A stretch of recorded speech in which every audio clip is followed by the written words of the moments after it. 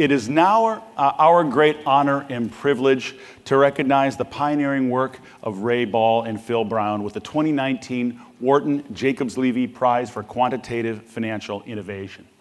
The prize, which is given every two years, recognizes outstanding quantitative research that has contributed to a particular innovation in the practice of finance. It is accompanied by an $80,000 cash award and a sterling silver medal serving as an emblem of the prize and our recognition of groundbreaking research and advancement. In the 1960s, fellow Australians Ray Ball and Phil Brown joined forces as PhD students at the University of Chicago.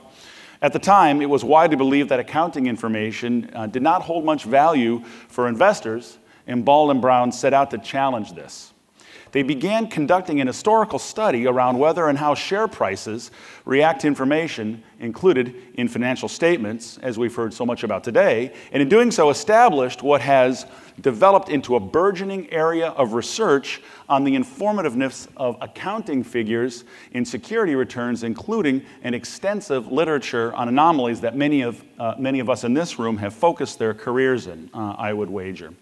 Their work has ultimately, uh, was ultimately published in the Journal of Accounting Research in 1968. 50 years later, the paper's impact is undeniable. Ray and Phil's groundbreaking research laid the foundation for many studies and articles to follow in accounting and finance and had significant influence on practice in both. Uh, in both, uh, in both. Uh, I would bet that many in this room actually grew up on Ball and Brown. Uh, in 2019, they published a replication to commemorate the anniversary of their 1968 paper. The article, titled Ball and Brown 1968 After 50 Years, can be found in the Pacific Basin uh, Finance Journal, and a link is also available on the Jacobs Levy Center website. Ray and Phil were selected for this year's prize by a committee of esteemed academics and practitioners who are listed in the award ceremony program. We are delighted to have Ray with us today to accept the award on behalf of both winners. He'll also present a reprise uh, and some observations on the prize winning work that he and Phil prepared together for today's event. But first, we will hear from Bruce Jacobs and Ken Levy, whose generous gift endowed the Wharton Jacobs Levy Prize in 2011. Bruce also served as chair uh, of this year's selection committee. It is especially appropriate to hear from Bruce and Ken because they were also among the earliest authors who, in their own groundbreaking research, contribute to the line of work so eminently established by Ball and Brown. Please join me in again welcoming Bruce and Ken. Thank you, Chris, for those kind remarks. You know, amazing things happen when the right people get together in the right place at the right time. Ray Ball and Phil Brown were the right people. They met at the University of New South Wales in the 1960s Phil left Australia in 63 to study as a Fulbright scholar at the University of Chicago. There, he earned his MBA and PhD, becoming an assistant professor at Chicago's Graduate School of Business. Meanwhile, Ray earned his Fulbright scholarship and, at Phil's urging, also enrolled at Chicago, where he also earned an MBA and PhD and is today the Sidney Davidson Distinguished Service Professor of Accounting. Phil ultimately went on to the University of Western Australia, where today he's a senior honorary research fellow in accounting and finance and a professor emeritus. And Chicago was the right place. As Ray and Phil point out in their article, Ball and Brown, 1968, After 50 Years, the University of Chicago was a place where all ideas were viewed as candidates for challenge, with alternative arguments and with data it was also the right time, the dawn of the computer age. The CRSP database had become available at the University of Chicago in 1964, two years after Standard & Poor released the CompuStat database. These databases constituted a mere fraction of the data available to analysts today, but Ray and Phil made the most of what they had. The research was first presented in the November 1967 Seminar on the Analysis of Security Prices at the University of Chicago. Their seminal paper, An Empirical Evaluation of Accounting Income Numbers, was published a year later in the Journal of Accounting Research.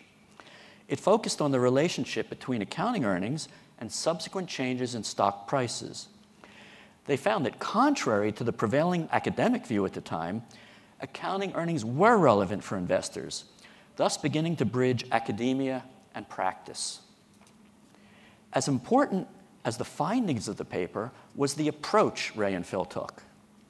Their aim, as they noted in After 50 Years, was to confront the accounting literature's central ideas with systematic as opposed to anecdotal evidence. Theirs was the first published event study using earnings data. As Ray and Phil stated, their paper paved the way for an entirely new, robust, and still expanding evidence based accounting literature. The importance of the paper's contribution to accounting has been recognized by Ray and Phil's respective inductions into the American Accounting Association Hall of Fame and the Australian Accounting Hall of Fame. An empirical evaluation of accounting income numbers opened another research door, one that's had a particular impact on investing and led to much fruitful investigation and practice in the many years since its publication. Its finding that abnormal returns continued in the expected direction even after the announcement of earnings, the so called post earnings announcement drift, was the first reported evidence of anomalous behavior in the context of the efficient market hypothesis. The Wharton Jacobs Levy Prize for Quantitative Financial Innovation recognizes outstanding quantitative research that has contributed to an important innovation in the practice of finance. Ray Ball and Phil Brown's seminal research on earnings announcements and stock prices certainly fits that bill. It ignited a revolution in accounting research, opening the door to new methods of conducting empirical research in finance and ultimately innovations in the practice of finance. Ray and Phil's path to innovation followed a classical template. First, they challenged conventional wisdom. As they describe it, the thinking at the time was that financial statements prepared under existing accounting standards are completely devoid of meaning. This embrace of accounting nihilism reflected the great disparity in the accounting methods used. Theorist R.J. Chambers, in an academic paper from the 1960s, calculated a single set of organizational transactions could give rise to some 30 million different profit figures. Confronted by the seeming futility of their chosen profession, Ray and Phil asked themselves, why do firms put so many resources into calculating net income and preparing balance sheets if they're meaningless? Second, Ray and Phil set out to answer this question using the latest available methods and tools to determine whether accounting information, in particular earnings, were important to investors. They exploited an emergent technique in finance, the event study, and data that had just become available thanks to the CRSP and CompuStat databases. To crunch the data, they took over the University of Chicago's computer, an IBM 7094. It was a behemoth in terms of size, but diminutive in terms of today's computers. With a memory only 1 16 millionth the size of an Apple iPhones. Their findings were revolutionary. Earnings and stock prices were most definitely correlated. While stock prices generally anticipated earnings announcements, they continued to be affected after the announcement, providing investors with an opportunity to use earnings data to forecast future returns. Third, as with so many innovations, Ray and Phil's 1968 paper faced rejection before it gained acceptance. The accounting review rejected it partly because the editors felt it had little to do with accounting. After its publication in the Journal of Accounting Research, the article met with some vitriolic reactions. The typical finance academic continued to believe the accounting numbers were meaningless. However, Ray and Phil had started the revolution. New generations of accounting and finance scholars came to appreciate the discipline of Ray and Phil's approach and the new research tools they had harnessed. We are proud to award the 2019 Wharton Jacobs Levy Prize for Quantitative Financial Innovation to Ray Ball and Phil Brown in recognition of their transformative accomplishment. Thank you for your contributions and a hearty congratulations. Ray, please join us now to accept the award on behalf of yourself and Phil, who isn't able to be with us today.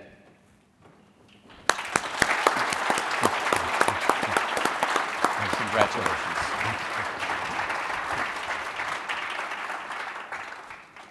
Ray, it's an honor to present you the Jacobs Levy Prize Medal. Thank you. Well, thank you, everybody.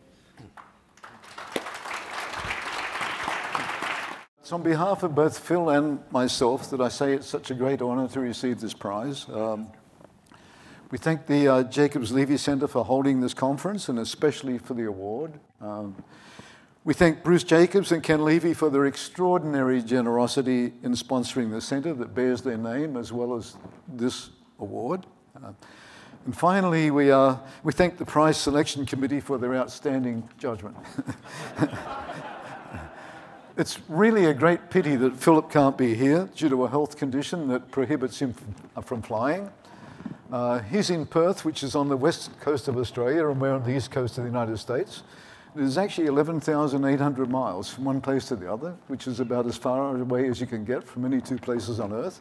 Uh, and so air travel from there to here is out for him. Um, but he and I think a lot uh, on most matters.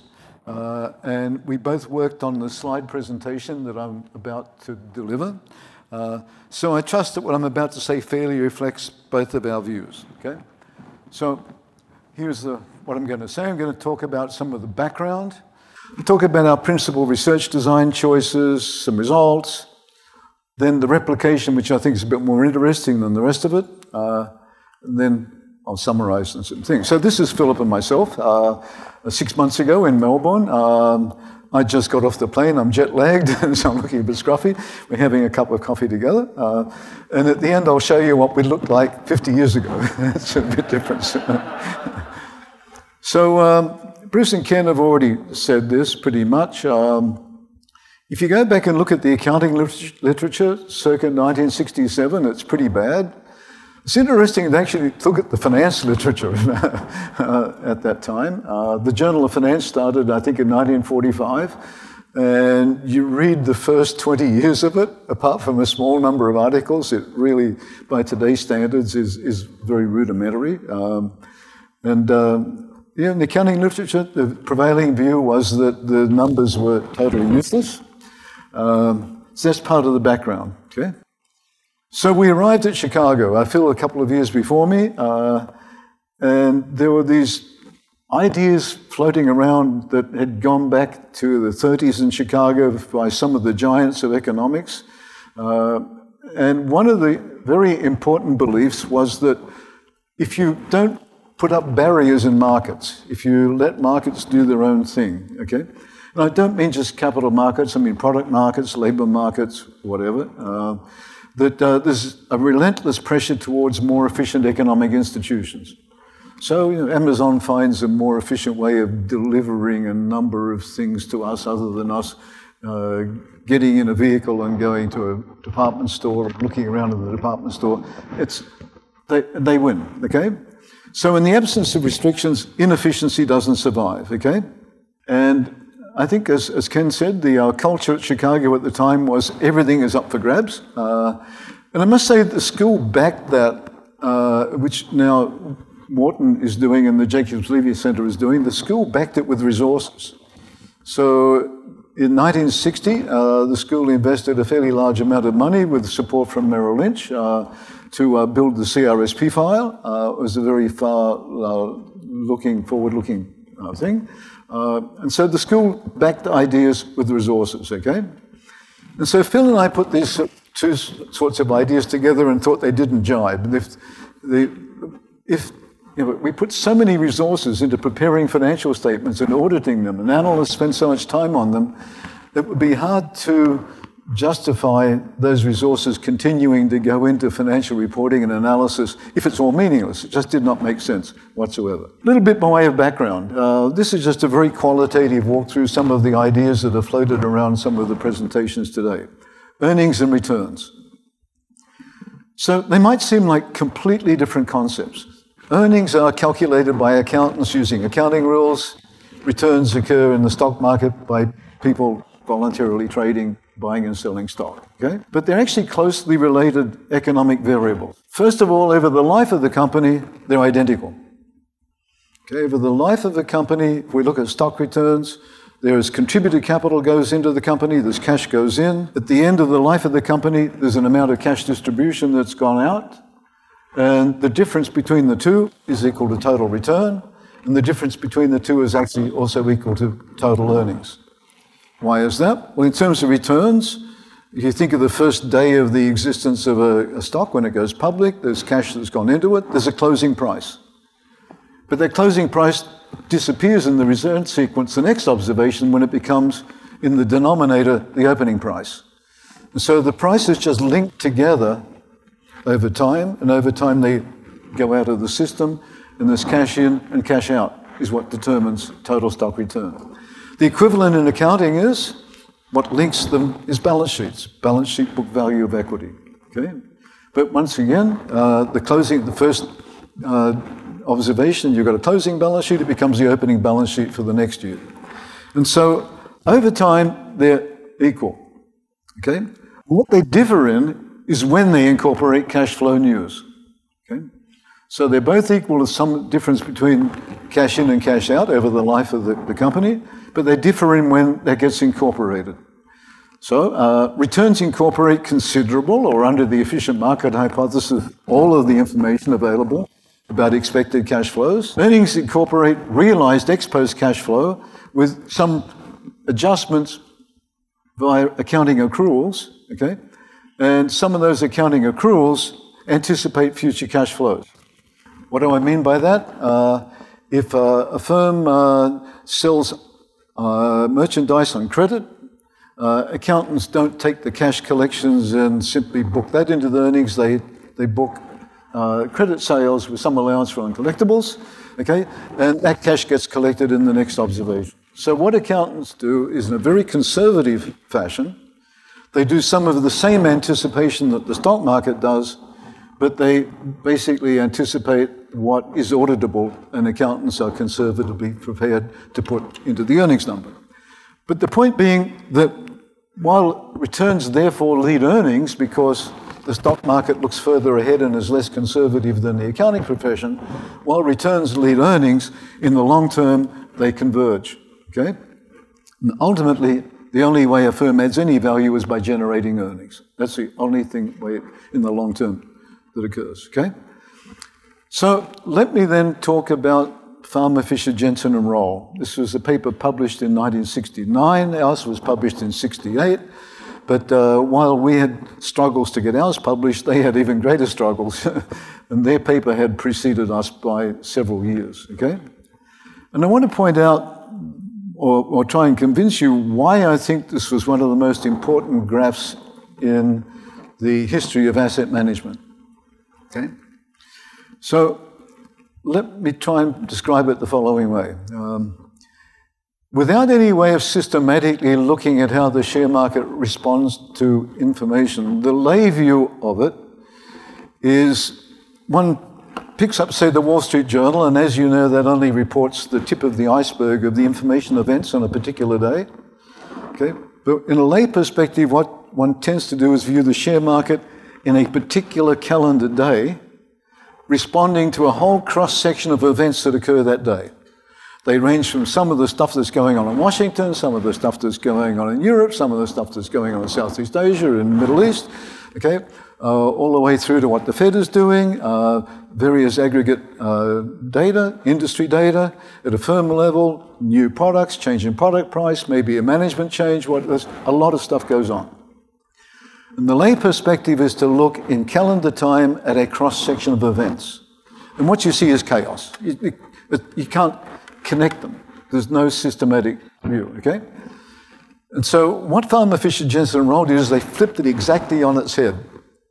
They looked at one event, not a cross section of events, that occurs at a cross section of times, and not the same time. So they said, let's take when a company splits its stock, let's take that as the event and will line up its share price behavior relative to the time of that event. And suddenly we see systematic behavior. In that graph we see before the vertical line in the middle is the, the date of the stock split. Okay, the dotted line is price behavior. And what you see is this systematic behavior of the price anticipating in advance the event, which is the stock split, and it's relatively flat thereafter, which is what it's supposed to be in an efficient market. Okay? But the key thing about it is two things.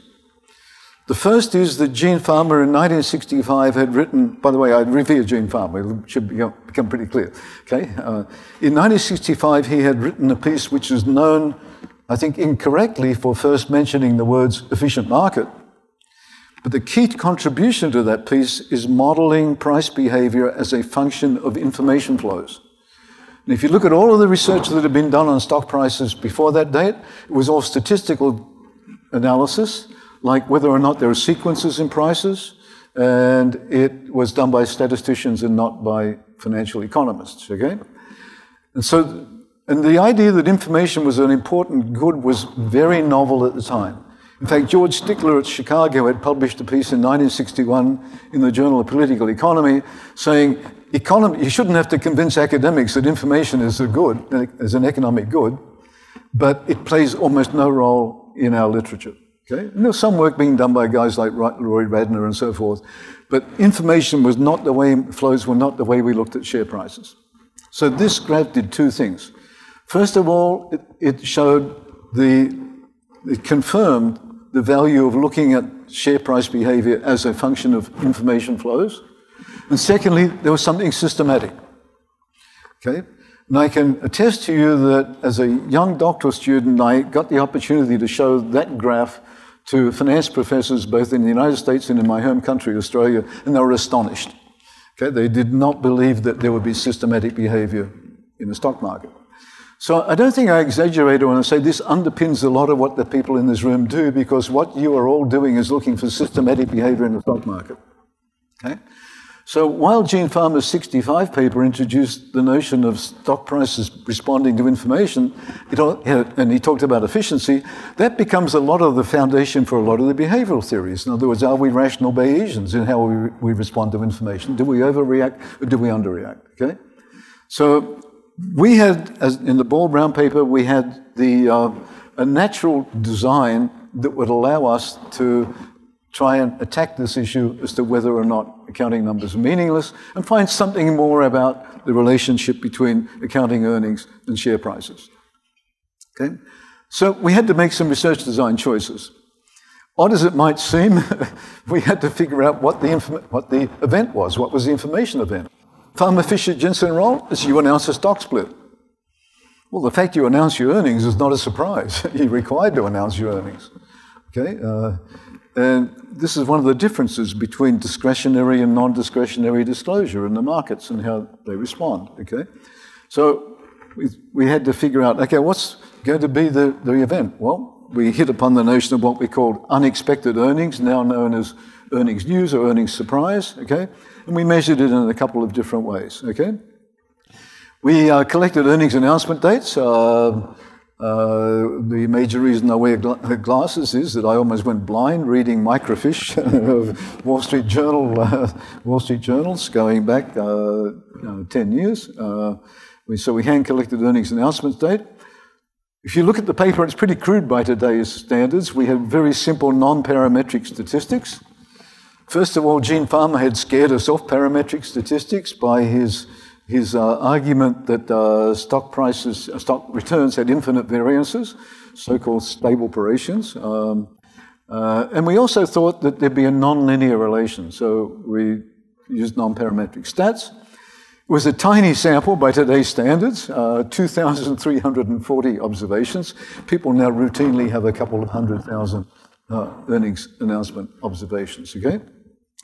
Uh, and uh, as previously mentioned, we did the calculations on an IBM 7040, uh, 7094 that was scheduled by an IBM 7040. Uh, it was really wild because this was the computer at the University of Chicago, and I want to build upon this in a second. It was the computer at the University of Chicago. It operated in batch processing, so when we were running a job, there was no one else in the entire university running a job on computing, okay?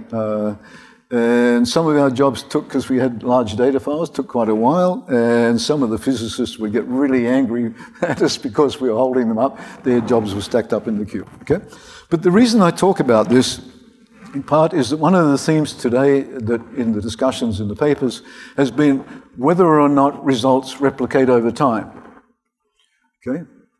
I would be very surprised if you could not find, in hindsight, a large number of anomalies on old data. The metaphor I always use in this, talking to my students, is that if you had a helicopter gun shop, a gun, gun sorry, a helicopter gun ship in the Middle Ages, you would have run the world, right? If you took today's computers and if you had them in 1930, you'd have done very, very well analyzing the data, okay?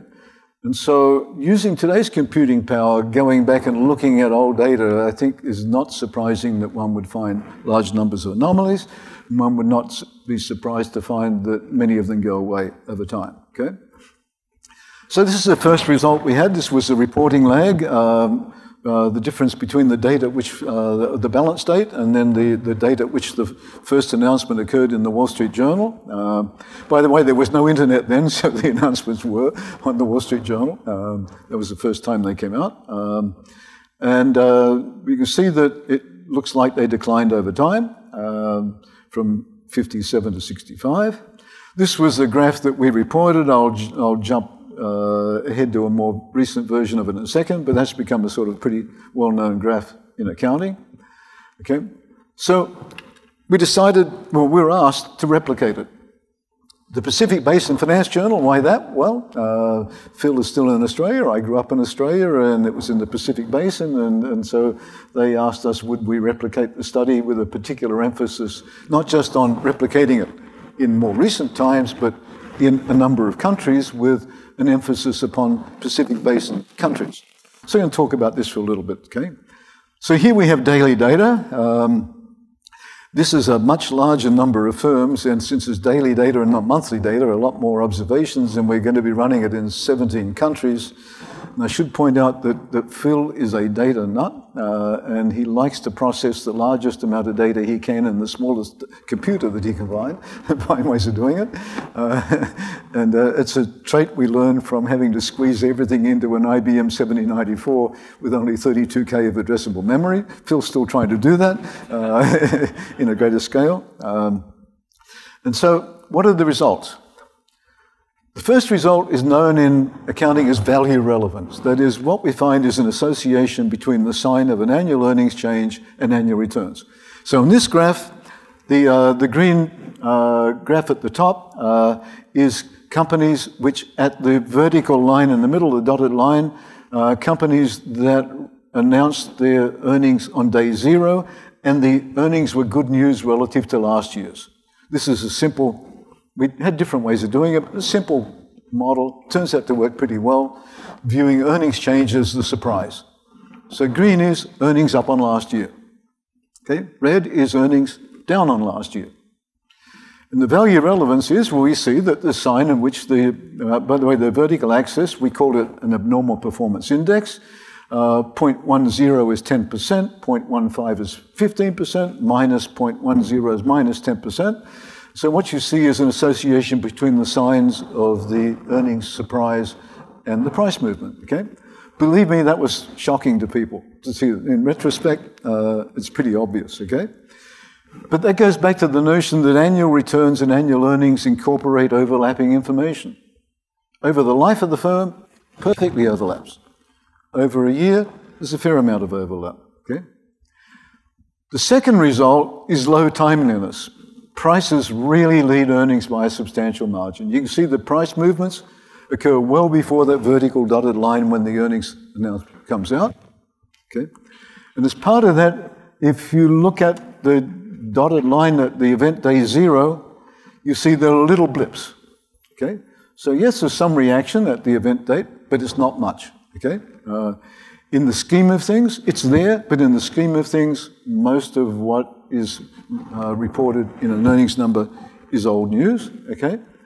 Well, why is that? Well, it makes perfect sense. What, what do accountants do? Um, once a quarter, they sharpen their pencils and they do some sums uh, they add up all of your revenues from the last quarter. They add up all your expenses. They calculate an earnings number. They report it maybe two, three weeks into the next quarter. Okay, but the revenues that they are reporting started at the beginning of the last quarter. And so they're talking, they're giving you information that starts out being 15, 16 weeks late. Okay, there are some events that occur right toward the end of a quarter that are not known to the market that get into the income numbers. But accountants are very good at looking backwards. Okay, there are some old jokes about that, uh, uh, but in the interests of your sanity this afternoon, I won't say them. Um, but uh, yeah, so what we find is there's low timeliness, prices lead earnings. That tells us something about the economic role of financial reporting. Most of the role of, of an earnings number is actually telling people what happened and confirming what happened. Just accounting is counting. So, uh, one of the pieces of research that has followed up on this is to ask the question do, Does an audited financial number that comes out confirm prior disclosures made by managers and make those managers more truthful, those disclosures more truthful? Okay? So, yeah, that, that's something, we learned something about accounting. Okay? We also learned something about markets. Previously mentioned, we called it the drift. The accounting literature then called it the post earnings announcement drift. It's the first reported anomaly. Now, I now have a version of SP's disclaimer to read out. I disclaim all responsibility for the remaining 539 anomalies that have been reported since. okay? So, um, here in the replication gives us the reporting lags in calendar days by year in the United States. Okay?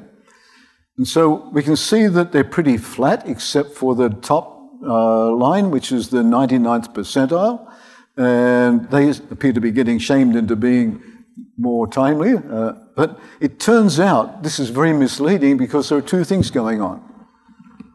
If you look at the reporting lags where you require the firm to be uh, the same firm this year as last year, okay, then the reporting lags of comparable firms one year to the next decline every single year. Okay? The second thing that's going on is there are new firms coming into the market which tend to be younger and take longer to report. And so the older firms that remain in the market are gradually getting their act together more and more quickly, okay? And, but the market is having new firms come on who report later, okay? In the accounting literature, people get exercised about the amount of variation in stock returns that can be explained by earnings numbers. I've never really fully understood why this is an important issue, but the accounting literature gets exercised by it, and it has declined over time. Okay, it's sort of like a measure of accountants' market share in terms of informing the share market. So if you ask yourself what the R squared is between annual earnings and annual returns, you're asking yourself the question, how much of the information in the stock return is captured in the annual earnings number? Right? And the rest that isn't is due to other information sources. So the R squared is sort of like a market share for accountants. But the interesting thing about it is, as a metric, it assumes that the market knows this stuff already. And so, uh, as far as a market's concerned, it's not interested in that R squared, but the accounting profession is interested in it. And this is a non parametric version of, of that, uh, and it's declined over time. Okay? How do we calculate it here? We have this measure AI, we call it, and another one NI. Okay? What is AI? All information. Okay? Sorry, accounting information. Okay? So we ask ourselves the question suppose we told you a year in advance okay, whether the earnings of a firm were going to be up or whether they're going to be down, and you took equal weighted long short positions where you went long on the earnings up, short on earnings down. Okay? And that's a measure of the value of advanced information about earnings. Suppose at the same time a year in advance, we told you what the price was going to be at the earnings announcement date. Then you went long on the price increase and short on the price decrease, equal weighted. It turns out in our, in our data, uh, that number was about 50%. The accounting, the, the value of perfect information about earnings, sign, was about 50% of the value of perfect information about whether the price would go up or go down. That has declined over time, that ratio. Okay? So that's about the only thing that doesn't replicate. We then uh, replicated in 16 other countries. We've got countries in, in question mark to avoid sensitivity of calling Taiwan, uh, putting it in the same group. Uh, the results replicate well. Uh, they're fairly compelling evidence that the initial result was robust. Okay? And I should point out, if we go back to this graph, this is a result that is published 50 years after the, we published the initial result. And publication does not appear to have traded that out of the market. Okay? So there's an argument that once something gets published, it goes out of the market. This graph looks remarkably similar to the graph we reported 50 years before. Okay? Uh, so it's 50 years since we reported it, and it's actually 40 years since I am, I am guilty at I wrote a paper in 78 in the Journal of Financial Economics introducing the word anomaly to the literature uh, and summarizing all of this sorts of uh, uh, evidence. So it's 50 years since we reported it. It's 40 years since I published a piece that said that this is systematic. It's beginning to show up in a lot of other studies, and it's still there. Okay? So the, the hypothesis that it gets traded out of the market, yeah, it might be disappearing a bit now, but boy, that means it's taken a long, long time to trade it out of the market. So I'm skeptical about whether that's what's going on. So let's go then to the international scene, okay? So the pre the, the good news, bad news separation in prices over the year, where one goes up and goes down, okay, is positive and statistically significant in all of the 16 countries. Okay, the gap is about 15 to 25 percent. Uh, it's remarkably low variance. What do I mean by that? That's the difference between the, the, val the, value of perfect information a year in advance of the fact that the firm will have an earnings increase or an earnings decrease. Okay? It's um, about 15 to 25 percent. Uh, significant in every one of the 16 countries. The event day responses uh, are positive, uh, and significant in 14 of the 16 countries. Okay? The magnitudes are small. Remember, we only saw small blips at the event date. That's why it's harder to get statistical significance in some of the countries with small sample sizes. Uh, but the event day is, separation is significant in 14 of the six. It's positive in all of them, but significant only in 14. The price earnings announcement drift is there in all of the 16 countries and significant in 15 of the 16. Okay? So it doesn't look a whole lot like data mining or the, of, of an anomaly that's going to be traded out of the market. Okay? So these are the results uh, that back up that summary. Uh, on the right-hand column, uh, highlighted in red, uh, is the uh, post-earnings announcement drift. It's the, the amount of money that you make with an equal weighted uh, strategy where you went long at the earnings announcement date on companies that had announced an increase in earnings and go short at the earnings announcement date on companies that that day showed a decrease in earnings and hold that position for half a year, for 180 days. Okay? So it's a long, short position on, long, on good news versus bad news in earnings. Uh, and those numbers are positive, uh, as I said, in 16 out of 16, and significant, I think, in 15 of the 16. Okay? So to give you an idea of some of the graphs, here's Australia and Japan. Okay? Uh, there's Korea and Malaysia. Um, uh, and so the results replicate, okay? We documented the mapping of returns into earnings over the year. You might notice I called returns change in market value of equity. So stock returns are just change in market value of equity, adjusted for dividends and capital contributions, scaled by opening value. Okay? Cha earnings really are change in book value of equity adjusted for dividends and capital contributions. That's what they are. The only things that change book value of equity are capital contributions, you know, positive or negative, dividends and earnings, okay? So we documented that mapping. Uh, we revealed two important properties we believe of accounting earnings. Yes, it's value relevant. It picks up uh, the same sort of information as stock returns do. It's not very timely, okay?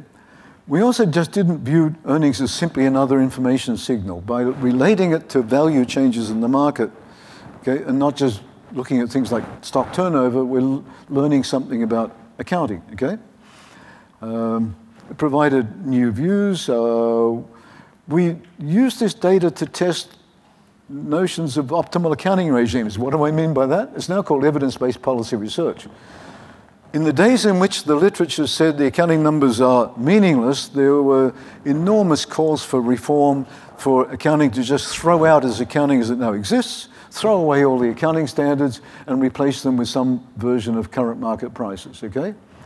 Uh, and so this was an example of evidence-based policy research. We were saying, okay, it's, it's, the old the system we got doesn't look so bad. If it's not that bad, is there such a strong case to overturn it? Okay. Uh, another strength that replicated. Uh, we acknowledged the first anomaly. I'm embarrassed to say that when I was doing that survey I published in 78, there were a couple of papers that I did not include because it turns out they stopped reporting what went on after time zero. and the reason is typically when you've got an hypothesis or a theory as a scientist, and the theory here was efficient markets, that it should all stop, the movements should all stop at time zero. If it doesn't stop, you view the failure as failure of yourself, the scientist. Okay? So people stopped reporting the, uh, some of the anomalies. I think that was a shame. Uh, so we're proud of the fact that we acknowledged it. It was a short paper, carefully written. Uh, we had to write it carefully because we realized that few people would understand it, and uh, so especially in accounting. Weaknesses, tiny sample. There's a survivor bias. The CompuStat file we had was prepared for, for people in practice and people in practice are not inter- were then not in, though it's mainly stockbrokers. They were not interested in unlisted firms, okay, that had been not, that had been delisted, and so they took currently listed firms and backfilled it. Okay, so there was a survivor bias in CompuStat. We had only monthly data. We ignored cross-sectional correlation. Uh, we couldn't study the market component of earnings. We've got this earnings surprise variable uh, was just a naive random walk, but it turns out that model works pretty well. There's research that shows that forecasting next year's earnings as being equal to this year's earnings a year ahead does about as well as security analysts a year ahead. There's not a whole lot of difference in, the, in between them. Uh, we use simple test statistics. And this research, if I had a student who put a piece of research up like that now, they'd be failed, okay? It wouldn't pass muster now. So, so because pays to go first. So the outcomes, yeah, uh, I think Bruce mentioned the accounting review rejected it. Um, uh, the Journal of Accounting Research, things were raw in those days. So Nick Dopuch was the editor. He said, I didn't understand the paper. I didn't know, this is new stuff. I didn't, I had no understanding of it. I think Gene Fama liked it, so I accepted it. um, so eventually, the, results spoke for themselves. Um, uh, and the last point I've got down there is one of the very, very pleasing themes of today's uh, conference is the number of people who are digging into the details of financial reporting and understanding financial statements better. and realizing that you don't take accounting numbers at face value, you have to interpret them, and there's a lot more in them than meets the eye by just simply looking at some bottom line numbers. Uh, and so that's a very, very pleasing development. So let me finalize by saying um, uh, so these are some of the outcomes. Um, uh, it's difficult to measure the impact on practice. I mean, there's correlation versus causation. We can't say that we caused all of this stuff to happen. Knowing the relation between earnings and prices helps an active investor frame the, their, the validity of their investment thesis. And I see that a lot. I sit on a board of a mutual fund and we, we have managers and analysts who come in and one of the things they want to calibrate is if they have an idea as to something that's not been priced into the market, okay? One of the ways to calibrate it to see whether it really is a, an idea that's unique to them is to work out the earnings implications of that idea and then we'll look at the price earnings ratio implied by that and ask the question does this look like the market already knows this idea or not uh, I suspect that would have happened independently of us but I think we might help people to frame it a little bit better by seeing more, uh, more systematically what the relation between earnings and prices are um, I think that this and an enormous amount of literature that has followed in the same vein uh, underpins the secular move to passive investing. In other words, it's not a matter of just looking at public information and, and trading on it. You ha actually have to be better than the market to beat the market. So in terms of earnings, to do well, you, you don't have to, it's not enough to be a good forecaster of earnings. You've got to be a better forecaster of earnings than the market. And we saw the evidence that the market anticipates fairly well. Um, there's now a mini industry. We, we had to invent this idea of unexpected earnings. This would have happened anyway, but there's now a mini industry reporting consensus forecasts and earnings surprises. It didn't exist back then. Uh, some quant managers tilt their portfolios towards earnings variables, operating profitability, uh, gross profitability, whatever. Um, and unfortunately, anomaly chasing. I call them, you know, after ambulance chases, uh, anomaly chases abound. Okay. So we were younger then. I was 23 and Phil was 28. So thank you. Let's go ahead and take some questions. Yeah, I was, I was able to uh, look at your uh, paper on the 50 years revisited. And the one thing about the other countries um, that I picked up on, and I don't know if you want to elaborate, it seemed like the accounting information in China uh, seemed to be higher than some of the other countries in the Pacific Basin, and it was approaching 40 or 48 percent of the explanation of, of price movement, and some of the intuition in the market is uh, from the US based bias is that Chinese accounting uh, standards aren't as rigorous as US standards and and that sometimes the numbers are manipulated. So I don't know if you can elaborate on that. And there was also an anomaly based also, I think, on some of the South Korea numbers too. Right.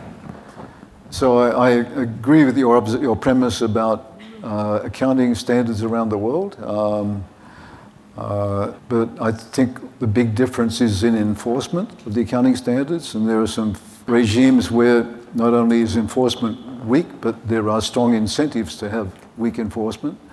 Uh, so there's no doubt whatsoever that the quality of the accounting numbers varies around the world. Uh, I don't want to point my finger specifically at China, but you know, obviously there's a lot of press on, on that. But it, the quality of the accounting numbers does vary a lot around the world.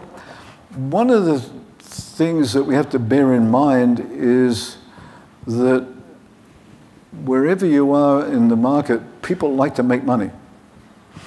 Okay? Uh, and if they like to make money, what they will try and do, if the accounting numbers are not such a high quality, is they'll try to find out something about the value of the firm by other ways. Some legal, some not legal. Some ethical, some not ethical. So what has surprised me over time is how in some of the lesser developed markets, how similar the results look to what we got. To put a sharp point on it, um, so uh, uh, in 1969, Phil returned to Chicago. I returned uh, to uh, Australia. Uh, I returned for and stayed. I returned for a while in, in 72 for 14 years. And one of the first things that he did when he got back was he started putting together the Australian version of the CRSP file. Um, Then when I got back, I started putting together uh, a, a CompuStat type file. Um, but Phil published a piece called Those Half Yearly Reports, I think it was, something like that, uh, uh, soon after he got back, and he showed similar results in Australia than the US. And people said to him, Oh no, what you see in a big market like New York won't apply here on the Sydney Stock Exchange where there's much less turnover, the companies are a lot smaller, there's less liquidity. Well, the same sort of results apply. Then uh, I think it was a guy called David Emanuel, I think uh, in New Zealand, saw the Australian results, and so he said, okay, I'll collect some data in New Zealand. New Zealand's a country where there are something like about 10 times more sheep than people, okay? It's not a large country. I think it's got a population of about 4 million, something like that, okay? And so the people in New Zealand said, oh, what you see in Australia, in a big country like Australia, you won't see here. Guess what? The results came up the same way. Um, the joke was, hey, is someone going to be doing this in Tonga? that was the joke that was floating around. Okay? Um, so, I, in, answer your question, yes, accounting quality does vary a lot around the world, but there are real incentives for people to try and get around that. Um, and I have been really surprised by uh, how the results do replicate in some of the lesser developed countries. Now, bear in mind, these, these are gross results. I should have apologized on that. This, um, we're talking about a 50-year-old paper and replicating this research design. This is not where we're running sort of very sophisticated Fama French models or whatever, okay? Re, re, uh, Fama Macbeth regressions. So um, I suspect that if you modified this research design to be more sensitive to those sorts of issues, you'd be able to find differences. Yeah, um, it's an honor to have you here. And uh, I just had a you know, non-technical, but rather a personal question. Um, I mean, when your paper was first rejected, I mean, how did you feel and how did you two kind of respond to it and kind of overcame that? I mean, well, we were sort of shattered, uh, and know, bear in mind I was 23, and uh, I'm thinking, my God, is my career over? Am I going to have to go home to home to Sydney? Uh, uh, our idea is going to be rejected, and so. Um, Philip had uh, just joined the faculty, uh, and so he had access to a telephone.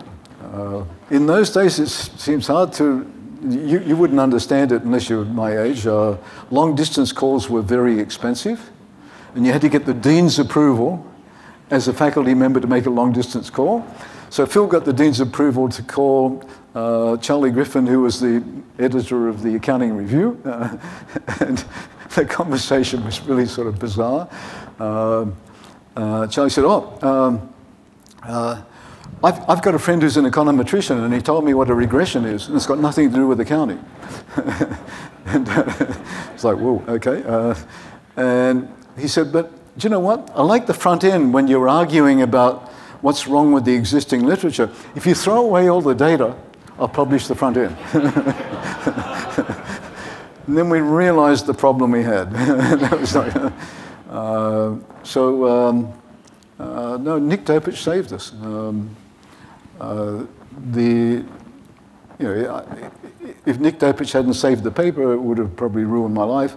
But uh, someone else would have done it a few years later anyway. So, um, but yeah, that, it, it wasn't very pleasant at the time.